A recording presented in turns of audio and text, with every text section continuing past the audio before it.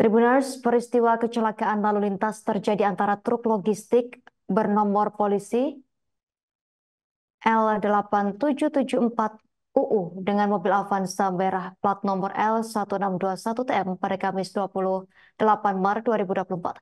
Akibatnya terjadi kepadatan di sekitar lokasi kejadian Jalan Raya Surabaya Madiun, Desa Garon, Kecamatan Balerejo, Kabupaten Madiun. Polisi kemudian langsung mengatur arus lalu lintas hingga melakukan evakuasi dua kendaraan tersebut. Petugas juga membersihkan sisa-sisa material seperti pecahan kaca maupun spare part kendaraan yang berserakan di jalan. Untuk informasi lebih lengkapnya terkait peristiwa ini kita telah terhubung bersama wartawan harian Surya rekan Febrianto Ramadhani yang akan melaporkan informasinya langsung untuk Anda. Rekan Febrianto Ramadhani silakan laporan Anda rekan. Baik, Uh, jadi uh, saksi mata kejadian sekaligus warga setempat Mardianto mengatakan peristiwa tersebut terjadi pada sekitar pukul setengah enam pagi waktu Indonesia bagian barat.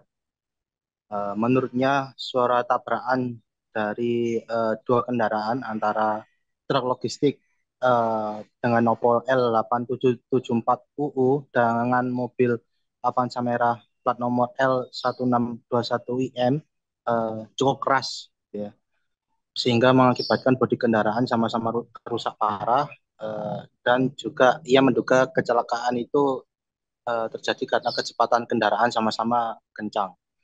Menurutnya truk sendiri berjalan dari arah Madiun ke Surabaya sedangkan mobil Avanza merah melaju dari arah Surabaya ke Madiun. Uh, korban uh, satu orang meninggal dunia di lokasi kejadian uh, ada uh, sopir mobil Avanza merah ini uh, saat evakuasi ini posisinya terjepit gitu ya sehingga memakan cukup waktu lama. Uh, beberapa orang di antaranya ada, langsung dibawa ke rumah sakit untuk perawatan lebih lanjut. Sementara itu uh, dari data yang kami dapat korban ini meninggal dunia bernama Supolo uh, asal Ponorogo. Untuk korban luka-luka antara lain sopir mobil Avanza merah Miswanto asal Ponorogo uh, penumpangnya Dasi, uh, Bangkit, dan Samsul uh, asal Ponorogo juga. Sementara sopir truk logistik Sriono asal Karangjati Ngawi juga mengalami luka-luka.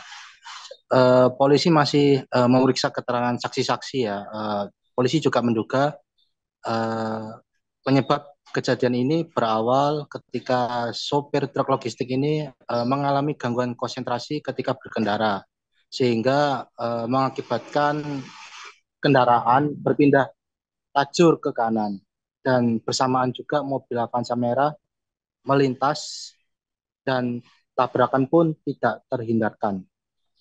Kasus kecelakaan ini masih ditangani uh, unit Gakum Satlantas Polres Madiun. Kendaraan uh, kedua kendaraan sudah dievakuasi dengan cara diderek. Korban juga masih dirawat dan penyelidikan ini masih terus dilakukan. Demikian yang bisa saya laporkan kembali ke studio. Terima kasih rekan Febrianto Ramadhani, wartawan harian Surya atas laporan dan juga informasi dari Anda. Selamat bertugas kembali. Uh, nama lengkap siapa? Ya, Nama lengkap? Mardianto. Mardianto. Ya. Oh, Pak, ini jam berapa kejadiannya, Pak? Kejadiannya sekitar jam setengah enam. Uh, itu info awal kecelakaan itu gimana sih Pak mulanya Pak? Kelihatannya dari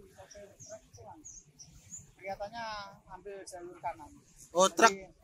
jalur kanan. Ya. Arah mana itu Pak? Arah ke Surabaya. Arah ke Surabaya. Terus ini sama apa kecelakaannya? Kecelakaannya sama mobil pribadi warna merah. Hmm. Arah mana itu Pak? Arah ke barat. Oh, arah ke barat. Ya. Itu kondisinya gimana Pak? Kondisinya aduh banteng. Waduh banteng. Ya kencang berarti ya pak? Ya iyalah. Terus kondisi korban gimana pak? Korban MG1 yang patah tulang tadi. Itu dari sopir truk atau? Download Tribun X sekarang. Menghadirkan lokal menjadi Indonesia.